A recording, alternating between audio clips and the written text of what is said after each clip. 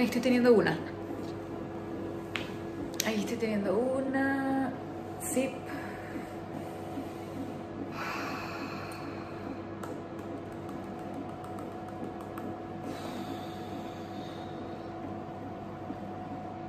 Hola, ¿cómo están? Bienvenidos nuevamente a este canal. Si no me conoces, mi nombre es Rosa Virginia y este video ha sido muy solicitado porque hace nueve días di a luz a mi segundo hijo, Pau. Eh, 3 kilos 900 de muchísimo amor y 52 centímetros. Eh, pero bueno, yo les quería comentar mi experiencia. Eh, aquí les voy a dejar la experiencia pasada que fue con mi hija Charlotte, que tiene hoy en día 3 años. Y bueno, a ver, yo para este parto, yo tenía de verdad todas las intenciones de hacer parto natural. Era algo que me hacía demasiada ilusión y de hecho, si me sigues en Instagram, tuviste que haber vivido desde el principio como que mi ilusión al respecto. O sea, yo realmente desde que me enteré que estaba embarazada, yo dije, wow, o sea, tengo una oportunidad de parir y aquí en España, no sé desde dónde estás viendo este vídeo, no importa, o sea, si antes has tenido cesárea y han transcurrido más de dos años, puedes parir de forma natural sin ningún tipo de problema. Claro, siempre y cuando no hayan habido complicaciones, etcétera, etcétera. Pero aquí, si todo ha estado bien, no, no hay un pero de por qué no tengas por qué intentar parto natural. Entonces, claro, todo eso a mí me tenía súper entusiasmada porque, bueno, yo creo que era una de las experiencias que uno tiene, yo personalmente, tiene que vivir. Así que bueno, siguió pasando todo el embarazo, transcurrió todo el embarazo de forma perfecta. Eh, de hecho, bueno, en el Instagram lo habrás visto, si no me sigues, eh, puedes ir allí, te voy a dejar acá. Hay un montón de contenido sobre el embarazo, cómo me sentí. De hecho, lo dije mucho antes de las 12 semanas, que yo estaba un poquito temerosa al respecto, pero bueno, me, me atreví y vivieron conmigo las náuseas, o sea, todo ese proceso que es como desagradable, ¿no? Eh, llegué a 40 semanas, punto 5 días. Em, y debo decir que hubo como muchas discordancias, ¿ok? En los últimos tres ecos, eh, el, último el, antepenúltimo eco me dijeron que el bebé era percentil 94, el penúltimo me dijeron que era percentil 97 y el último, por cosas de la vida, no lo sé, la chica eh, dice, la ecógrafa, que el bebé es percentil 50 51 es algo que nos toma por completa sorpresa porque ya cuando me habían dicho que el bebé era percentil 97, yo dije, bueno, entonces de pronto no tengo que parirlo porque es muy grande para mí. Eh, entonces eso me, me, había como causado un poquito de miedo, pero bueno, yo estaba tranquila al respecto. Yo decía, bueno, vamos a ver qué pasa también con mi cuerpo, porque si mi cuerpo es capaz de crearlo, es porque es capaz de parirlo. No, no lo sé. Eh, que yo sé que no siempre es así, pero bueno, ustedes saben, yo aquí poniéndome ahí de extrapositiva y de optimista al respecto. Cuando esta otra persona me dice, no, pero es percentil 51, eh, es bastante normal, un bebé de 3 kilos 200, yo digo, ah, bueno, entonces el tema de parir está como más en puerta, ¿no? Y sí que nos tomó mucho por sorpresa porque había demasiada diferencia de un eco al otro y esta persona midió como tres veces delante de nosotros y no había forma de que ella diera con otra talla o con otra medida. Lo consultó con la doctora que me estaba llevando y bueno, al parecer pues eso era. Yo pedí que por favor me repitieran el eco, ¿ok? Lo pedí expresamente porque no me dio confianza y no entendía qué estaba pasando, ¿ok? Y no me lo quisieron hacer, eh, me ignoraron básicamente. Entonces, claro, ahí ya yo, o sea, ya en el último eco, sabiendo que el bebé eh, era peso normal de 3 kilos 200, 3 kilos 300, yo decía, bueno, no, vamos a ver qué pasa seguía pasando el tiempo y yo estaba perfecta. Tengo muchos clips que les puedo mostrar. Yo estaba como si nada, o sea, ni contracciones, ni dolores, eh, un poco de peso en la barriga, porque yo sentía que esta panza era como mucho más pesada y, él estaba encajado. Charlotte siempre estuvo sentada, entonces por eso es que siempre fue cesárea, básicamente, eh, porque era imposible parirla de nalgas, pero Pau siempre estuvo encajado, entonces yo decía, bueno, tal vez por eso me pesa muchísimo más. Y pasó, llegamos a las 40.5, yo fui a la clínica a hacer el preoperatorio, ¿ok? Porque la doctora me dijo, mira, vamos a pautar cesárea porque estás bastante verde, ¿ok? Me hicieron el tacto y eso, estás bastante verde, aquí parece que aquí no hay ningún tipo de actividad, así que vamos a pautar cesárea. Yo, bueno, ok, vamos a hacerlo para el 15 de septiembre, un miércoles, porque así Charlotte comenzaba clases el 13, yo la llevaba a su primer día de clases Y bueno, ya yo podía irme el miércoles a la cesárea como si nada. Ella estaba distraída con mi familia, yo planeando toda la logística, ¿no? Que uno como mamá piensa y se imagina, intenta cuadrar que todo el mundo esté perfecto, menos uno. Eh, y así pues todo puede fluir.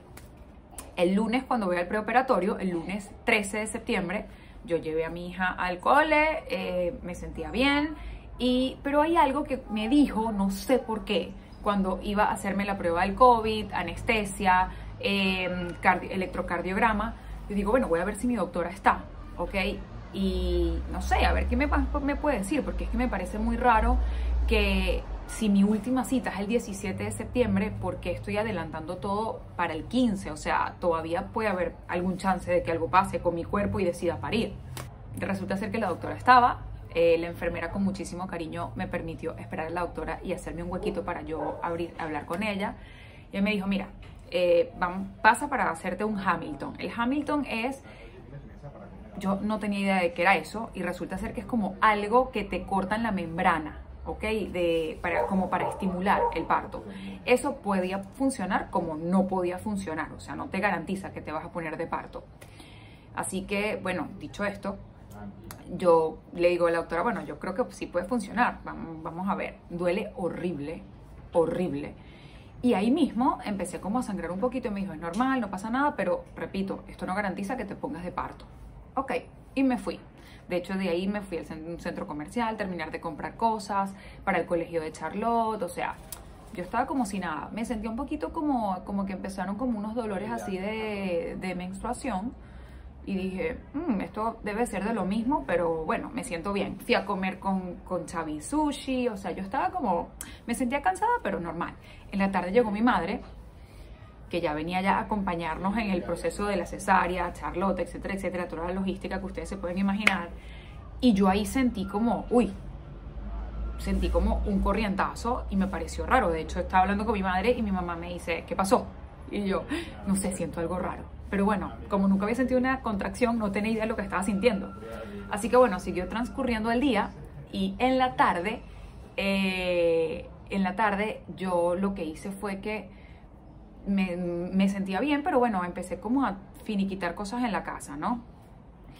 Como a las 10 de la noche, yo decido bajarme la aplicación de contracciones que simplemente buscan en la app contracciones y les va a aparecer, la bajan, yo ni siquiera sabía que esa broma existía, pero a mí me parece que yo lo había escuchado y decidí bajármela.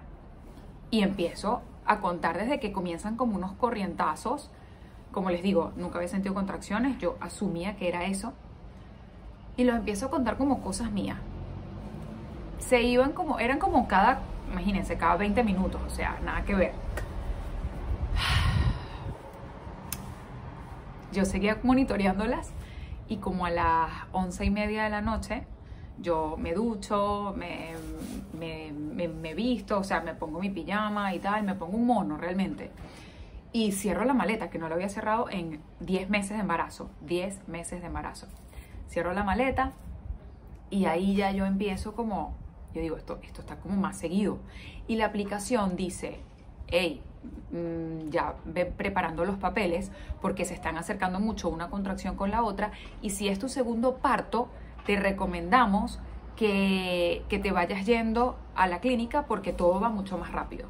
Cuando yo leo eso yo digo, nada, nos vamos a la clínica, o sea, aquí ya no hay nada que hacer, nos vamos a la clínica a ver qué hacemos. Ya eran como las doce y media, 12.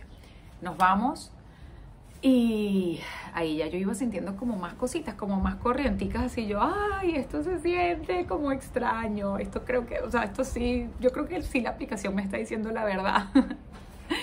Entonces, em, llegamos, entramos, entramos, bueno, entré a un cuarto, ahí lo dejaron abajo a Xavi, estaban todos los papás abajo, de hecho ese día la sala estaba como colapsada con partos, y ahí las contracciones me pusieron las correas en la panza, y estaban sucediendo las contracciones cada cierto minuto. Entraba una matrona, me preguntó que bueno, que por qué había considerado cesárea, y yo, bueno, mira, yo tuve cesárea antes, etcétera, etcétera, le contaba. Y ellos me decían, bueno, vamos a ver, parto vaginal, y yo, yo quiero parto vaginal, pero tampoco estoy cegada, o sea, no, lo que no quiero es estar aquí mil horas y eh, no quiero poner al bebé bajo un estrés innecesario, ¿ok? Quiero si es posible, es posible, pero si no, de verdad no tengo problema. Además, yo tenía todo listo para la cesárea para el miércoles. Ya era, ya esto era martes 14 de septiembre a la 1 de la mañana.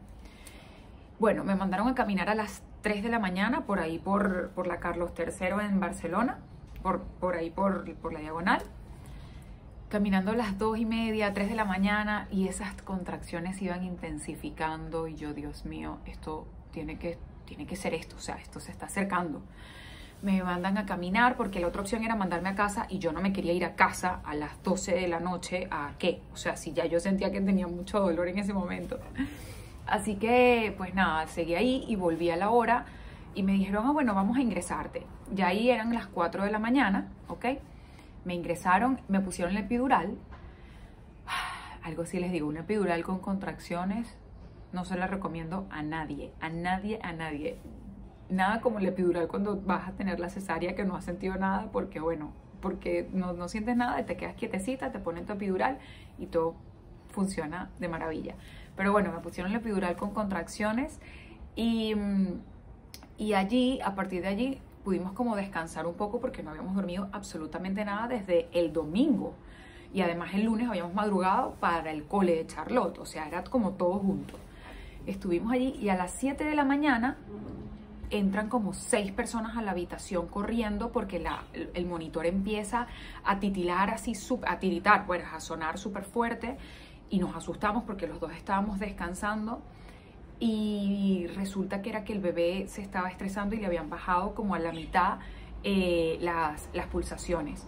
Entonces allí empezaron entre las matronas o las doctoras, yo no sé, entraron y empezaron a estimularme por la vagina a estimularme para estimular al bebé, o sea, para que reaccionara y me pusieron una medicación que aceleraba el corazón de los dos. Mi corazón iba a mil, o sea, yo sentía que, se me salía el corazón, pero bueno, era para, para reanimarlo a él, pero yo en ese momento no entendía lo que estaba pasando. Esto lo, lo digiero a los minutos de que pasa el susto y todas me miran como, como tranquilizándome y yo estaba como en un shock porque no entendía qué estaba pasando. Y me dicen, tranquila, fue un susto, no pasa nada, todo va a estar bien, fue solo un susto. De hecho, a Xavi se le fueron los tiempos, tuvo que pedir algodón porque fue como todo muy repentino.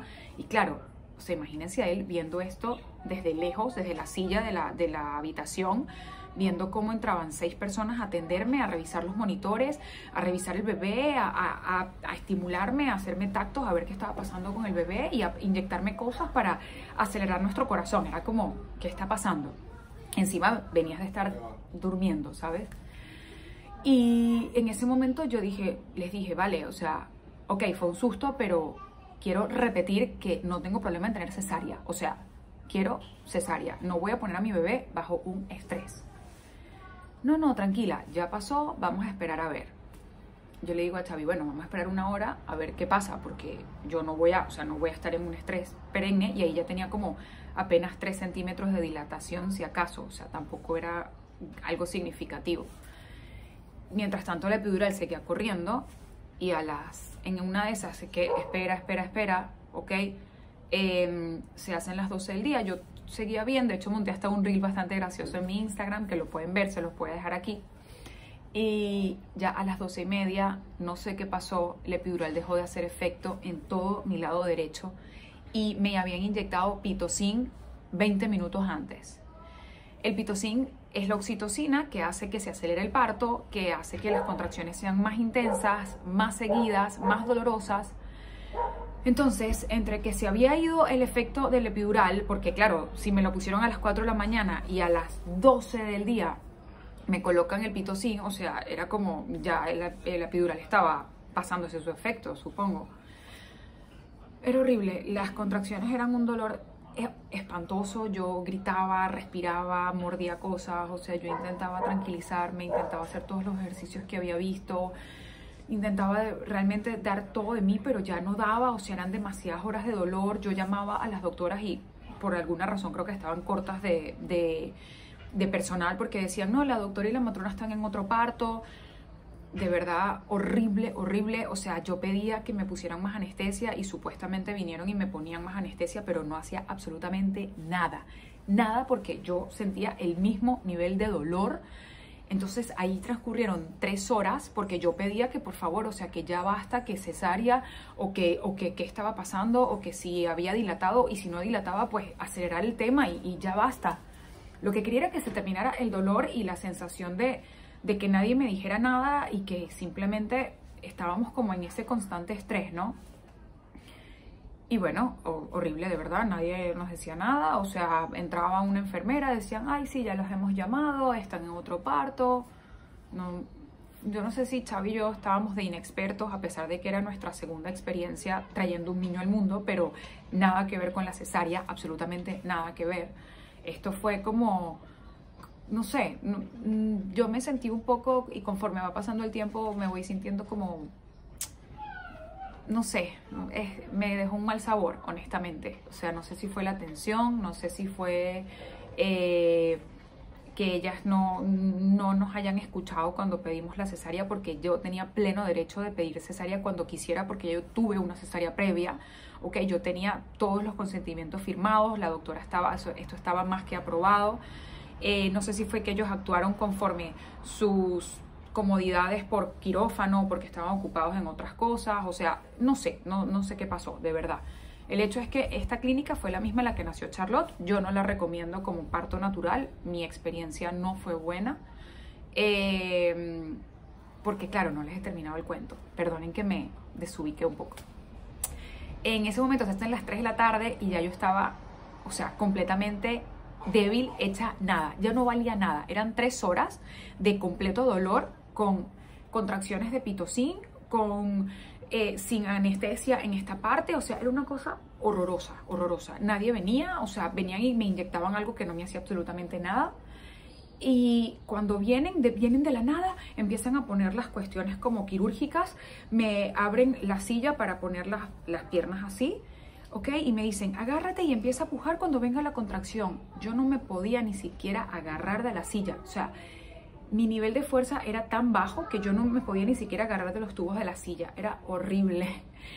Y me dicen, puja, venga, que viene la contracción. Y yo intentaba pujar, pero es que no tenía fuerzas. Y la, la mejor forma de decirles lo débil que me sentía es que cuando finalmente nació Pau, que pudieron sacarlo, o sea, porque tuvieron que ayudar con ventosa, eh, chuparlo, es un chupón, la ventosa es un chupón, ¿ok? Me tuvieron que eh, cortar, eh, que, significa hacer episiotomía, no sé si lo saben, pero bueno, las mujeres para que no se desgarren las cortan un poco, ¿ok? Y me, sí, tuve episiotomía, me pusieron cuatro puntos, estoy sanando, aquí donde ustedes me ven. Yo les hablo con toda honestidad porque bueno, esta es la experiencia más natural de la vida y evidentemente si se las pongo con tapujos y con cosas no tiene sentido, ¿ok? Pero bueno, eh, fue así, ¿ok? Lo lograron sacar, yo lo agarré en ese momento y me lo puse en el pecho. Yo creo que solamente por ese microsegundo ya vale la pena. O sea, solamente por ese microsegundo que yo pude, o sea, agarrarlo así todo sucito, saliendo con todas las cosas, el cordón umbilical, ponerlo encima de mí y tener esos segundos Luego se lo, se lo, ponen aquí al lado de mí, lo limpian, me lo vuelven a dar para hacer el piel con piel, que es súper importante y aquí en España lo, lo, valoran y lo respetan muchísimo. E inclusive yo lo tuve con, el con la cesárea, me lo puse aquí, pero volviendo al tema de cuando yo les digo lo, lo, cansada y lo agotada y lo sin fuerzas que yo estaba, no sé si era por el exceso de anestesia, no, no sabemos la explicación, es que cuando me lo ponen, que ya yo intento empezar a pegármelo para el pecho, yo tuve que decirle a Xavi que por favor se quitara de la camiseta y se lo pusiera él un ratito porque a mí se me cerraban los ojos y yo no era capaz, no podía aguantarme despierta. O sea, yo necesitaba cerrar los ojos. No daba, era una cosa que no daba. Y no tiene nada que ver con mi experiencia con Charlotte porque yo ahí estaba plenamente consciente y pude disfrutar ese momento que es tan inmediato al parto. Entonces, bueno, nada, ahí estuve unos segundos con los ojos cerrados porque me daba miedo que se me cayera, es que no, no, me sostenía. Eh, luego me lo volvieron a dar, nos pasaron a la habitación, me desmayé eh, porque intentaron como pararme para, hacer pipi, no, no, te ponen sonda en esta oportunidad, cuando la cesárea sí me pusieron. Em, y cuando me iba a parar, bueno, me, me, desmayé, yo no me di cuenta que me desmayé, me di cuenta fue que Chavi me decía, ¿dónde estás? ¿Dónde estás? Y yo, bueno, estoy aquí en la clínica, ¿qué pasó? Y me dice, te desmayaste. Y yo, ay, no, no me di cuenta. Pero bueno, eh, gracias a Dios, el bebé es un santo, de verdad. No, no quiero, no quiero presumir, ¿ok? Pero yo creo que él se, no sé si él se dio cuenta que, que yo no podía con mi vida y que necesitaba descansar pero pude reponer fuerzas. Xavi se fue a casa a atender a Charlotte, rutina, para darle un poco más de estabilidad en todo, dentro de lo que se podía, ¿no? De lo que estábamos viviendo. Y mi mamá se fue a la clínica y estuvo conmigo en la clínica y bueno, también fue una bendición. Seguimos con los, con los, con el, con las restricciones de la situación actual, entonces no podía ir nadie a visitar. Estuvimos ahí encerraditos los tres y, bueno, realmente he ido sanando conforme han ido pasando los días, pero sí, pude darme el gusto de parir natural, sí, pero no es como me lo imaginaba, no creí que era, un, que era más respetado el parto o, o que me iban a escuchar o que había un, no sé, que iba a ser todo como un poco más más fluido, sobre todo que me escucharan, ¿ok? Que cuando yo pedí la cesárea porque estaba en pleno derecho, porque tuve una previa, eh, no sé, yo entiendo que ellos estaban como, bueno, como ella dice que quiere parto natural, pues pum, pum, pum, pero, ay, no sé, creo que tuvo, no sé, pudo, pudo haber sido distinto. Pero bueno, aprendí mi lección eh, ahora tengo la herida de la cesárea y la herida abajo y es doloroso. Honestamente creo que me he recuperado mucho mejor de la cesárea. Personalmente recuerdo como que me recupera muchísimo mejor. Eh, aquí me ha costado un poco más, también, bueno, evidentemente hay menos, menos, menos momentos para descansar porque tienes a una toddler de tres años. Eh, Pau de verdad no demanda, se porta muy bien, entonces yo creo que también han sido días de mucha tensión. Pero bueno, lo importante es que estamos bien, que tenemos salud, que estamos disfrutando en casa de este momento tan bonito que es tener un recién nacido, que dura tan poco. La época de recién nacidos dura tan, tan, tan poquito y se pasa tan rápido que luego uno piensa en esa época como, wow, ¿cómo pasó tan rápido, no? Esta es mi historia de parto. Eh, espero les haya gustado. Recuerden que ahí les he dejado también la de Charlotte. Eh, él ahorita está durmiendo, y bueno, estoy amamantando a tope, eso sí les digo, bueno, eso sí ha funcionado muy bien con respecto a Charlotte y con Pau, gracias a Dios. Sin duda es una experiencia que hay que contar y compartir y, no es para asustar a nadie, cada experiencia es distinta, cada mujer tiene una experiencia distinta, un cuerpo distinto, un bebé distinto. Cuando me lo dieron, que me dijeron que pesaba 3 kilos 900, evidentemente hubo un error con las ecógrafas cuando ellas hicieron lo que estaban haciendo, algo pasó, hubo mucho descontrol, no quisieron repetirme el eco. Eh, no quiero hablar mal de la clínica, eh, si me escriben por privado yo les digo cuál clínica fue, porque no, no, no la recomiendo para parto natural, honestamente, no me gustó la experiencia. Para cesárea en mi momento hace tres años fue muy buena, no sé cómo será ahora, les les dejo un gran beso, un gran abrazo. Gracias por ver este video y por seguir la historia de todo este embarazo que ha sido tan bonita y tan especial. Y nos vemos la próxima semana o cuando pueda volver a montar, ¿ok? Espero que sea muy pronto. Chao.